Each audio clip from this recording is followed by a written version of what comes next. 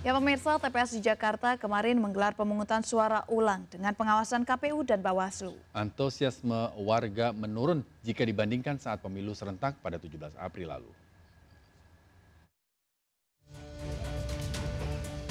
Tidak seperti saat pemilu serentak 17 April lalu, pemungutan suara ulang di 11 TPS di Jakarta kemarin, antusiasme warga menurun.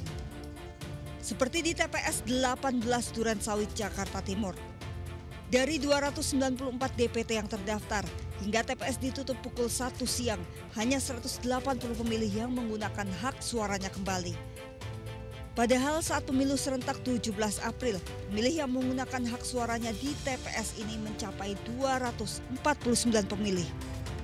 Pemungutan suara ulang dilakukan di TPS ini lantaran saat pemilu lalu 30 mahasiswa memaksa mencoblos tanpa membawa formulir A5. Untuk pelaksanaan pemungutan suara ulang, seluruh petugas KPPS diganti dan diawasi ketat Bawaslu.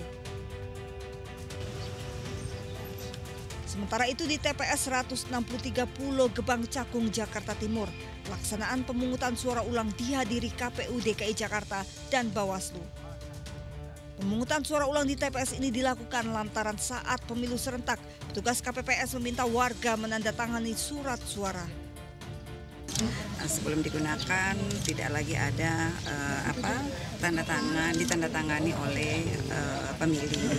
Saya kira ini hanya karena ada uh, informasi yang tidak tersampaikan secara uh, utuh kepada pemilih bahwa surat suara itu tidak bisa ditandatangani. Antusiasme warga juga menurun di TPS 172 Budi Mulia Pademangan Barat, Jakarta Utara. Pemungutan suara ulang dilakukan di TPS ini lantaran banyaknya warga luar daerah yang mencoblos tanpa formulir A5. Dari Jakarta, Tim Liputan iNews melaporkan.